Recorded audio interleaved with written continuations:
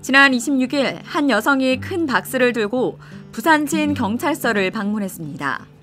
그 박스 안에는 참기름, 참치캔 등 식료품들이 가득 담겨 있었고 자필 편지와 실제로 사용이 가능한 카드도 발견됐는데요. 여성은 편지에서 오늘 아침 한 기사를 보고 이렇게 급히 부산진 경찰서의 문을 두드리게 됐다며 늘 고생하시는 경찰관분들께 배가 되지 않을까 하는 걱정이 됐지만 대한민국 국민으로서 반드시 해야 하는 일이라는 생각이 들어 신뢰를 무릅쓰고 찾아뵙게 됐다고 말문을 열었습니다.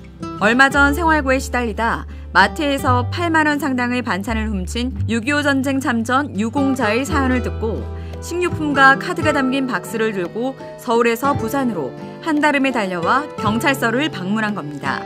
여성은 대단한 금은 보화가 아닌 그저 최소한의 생활에 필요한 반찬거리를 훔친 노인분의 소식을 들은 누구든 가슴 한편에 먹먹함을 느꼈을 것으로 생각한다며 결코 잊어서는 안 되는 한국전의 영웅이라는 사실을 접하고는 가슴이 미어지는 것 같았다고 전했습니다.